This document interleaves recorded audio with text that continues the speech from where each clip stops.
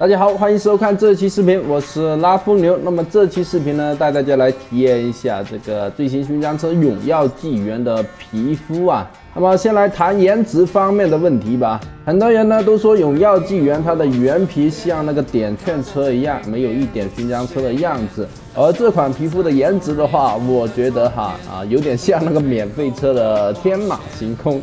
不知道你们觉不觉得？反正我是这样觉得的哈。呃，好的，那抛开颜值不谈的话，我们来谈手感方面的问题吧。这款皮肤的话，相对比原皮的手感来说，我觉得还是有点提升的哈。但是提升不大，转向呢依旧是跟原皮一样贼拉垮。所以这款皮肤的话，我觉得可以弄，也可以不弄。那实战跑腻了，我们应该用这辆车来跑跑计时了。这把跑一下这个美洲大峡谷。啊，都知道美洲大峡谷是逐行者的王图，所以呢，我就直接用这辆车来试试看看能不能直接套用逐行者的跑法。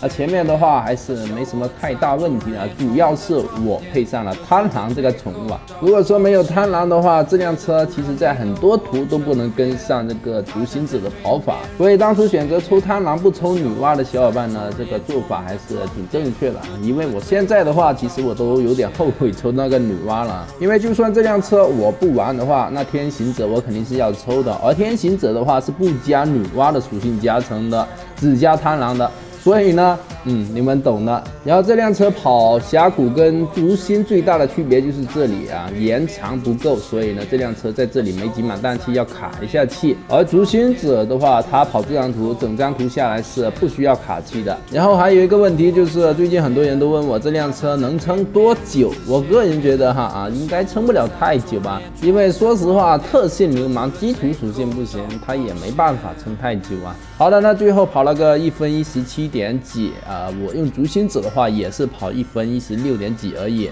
那本期视频就先到这里吧，谢谢大家收看，喜欢的可以点赞投币支持一下。